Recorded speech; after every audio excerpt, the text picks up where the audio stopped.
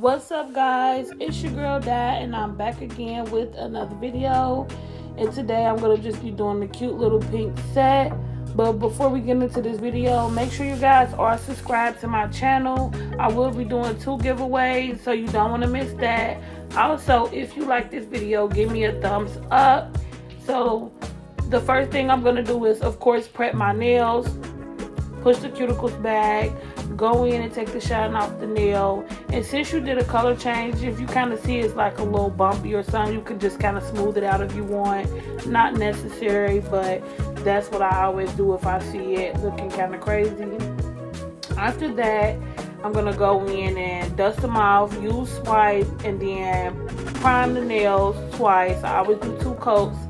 Then I'm gonna go in and put a very thin layer of clear down because I'm gonna be working with like anytime I'm doing like designs or I know I do frequent color changes, I always put a clear layer down just to make sure that the nails are not lifting and they're pretty much secured the way I need them to be.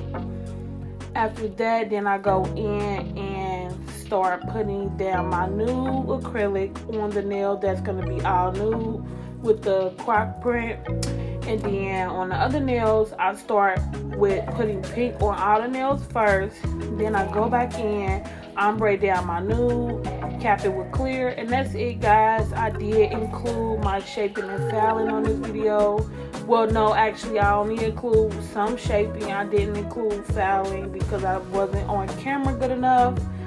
But you guys know how I file. I start at the bottom of the nail, then I go on the sides, and then I do the tip. That's how I file every time. And I also make sure I flip my client's nail hand around so that I can get the client's view.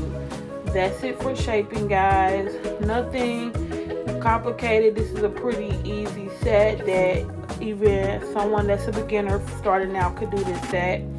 For the croc print, all I did was go in with blooming gel and once I put the plum the blooming gel down, then I went in with my pink color with my dotting pen and then you know you just kind of let it spread and form the way you want and then you pop it in the lamp.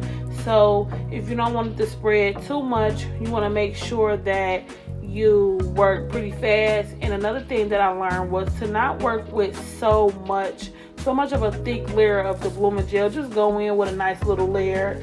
Nothing where it's going to be spreading like immediately as you put it on the nail. You want it to just gradually spread. but if you're looking for a more effect where you do want it to spread more or faster, then you can use a thicker layer. But that's pretty much it, guys. Top coated it at the end, and that was it a pretty cute basic set. And make sure you guys do subscribe to my channel. I am doing my first giveaway once i hit 500 subscribers. And then i'll do be doing my second one at a thousand. So you don't want to miss that. You don't want to miss my daily nail videos. And i will catch you guys in my next one. Bye